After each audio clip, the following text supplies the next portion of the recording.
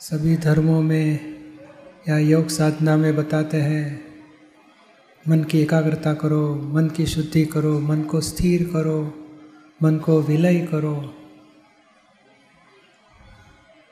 मगर क्यों तो मन बहुत चंचल है, भटकता है, उसको कंट्रोल रखना चाहिए। पर बिगिनिंग में ही फंडामेंटल में ही गलती शुरू हो गई। क्योंकि कितना भी मन को शुद्धि करने जाएगा, एकाग्र करने जाएगा, विलय करने जाएगा, पर सचमुच प्रॉब्लम मन का नहीं था। मन सचमुच इस शरीर से भटकता ही नहीं। इस देह में मन भटकने का कार्य करता ही नहीं है।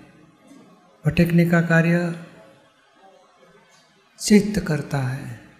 और योगी लोग, संत, महंत सब बताएँगे चित्त मन को एकाग्र करो, मन को कंट्रोल में लाओ, मन को स्थिर करो। मन स्वभाव से ही चंचल है, उसको स्थिर करने की ज़रूरत नहीं है। और सचमुच ज़रूरत है, चित्त को स्थिर करना है, चित्त की शुद्धि करनी है। मगर नहीं समझने में आने से शुरुआत से ही मन के पीछे लोग पड़ जाते हैं। और मन को कितना भी सुधारने गए, मन तो सुधरता नहीं और खुद की मेहनत फोकट की जाती है। कभी कभार ज्ञानी पुरुष रहते हैं, तभी वो बताते हैं कि मन को ख़त्म करने की ज़रूरत नहीं है। मन तो केवल ज्ञान होने के बाद में भी निर्वाण तक मन रहता है। मन को कंट्रोल करना भी ज़रूरत नहीं है। चित्त को सुधारना है। चित्त भटकता है। चित्त की अशुद्धि हो गई है। उसको स्थिर करना है, उसको शुद्ध करना है और वहाँ तक चित्त की शुद्धि करनी है, वो आत्मा में आ जाए, आत्मा का सुख पा सके।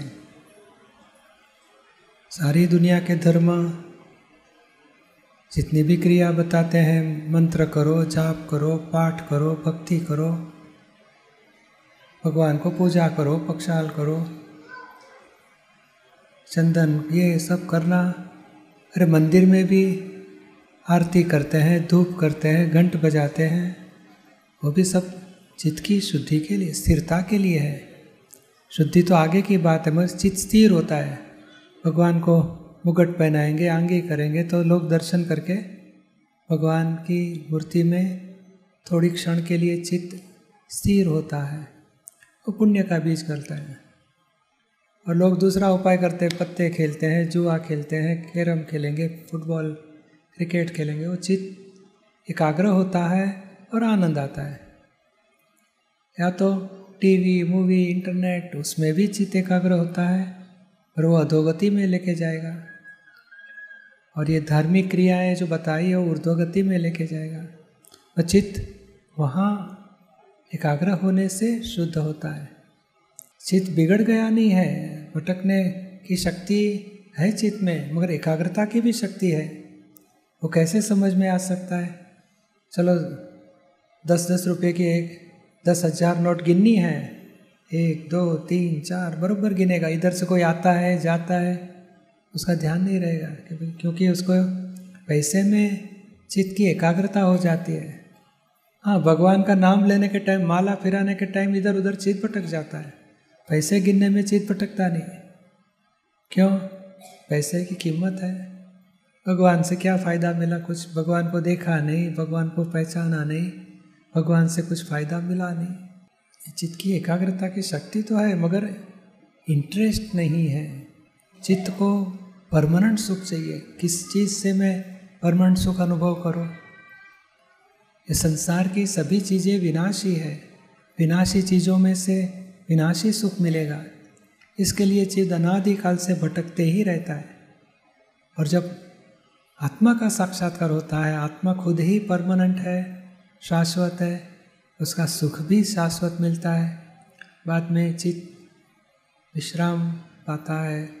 चित आत्मा में आ जाता है। धीरे धीरे जो पूर्वाभव से, अज्ञानता से चित्त की अशुद्धि हो चुकी है, वो धीरे धीरे वृत्तियाँ तो बाहर भटकने का छूटने लगता है, आत्मा में आने की शुरुआत होने लगती है।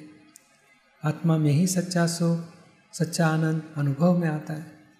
और धीरे धीरे संसार में विनाशी चीज़ों से चित्त की अशुद्धि छूटने से चित्त वहाँ से मुक्त होते जाता है। अंतिम आत्मा में स्थिर होके पूर्ण दशा प्राप्त कर सकते हैं।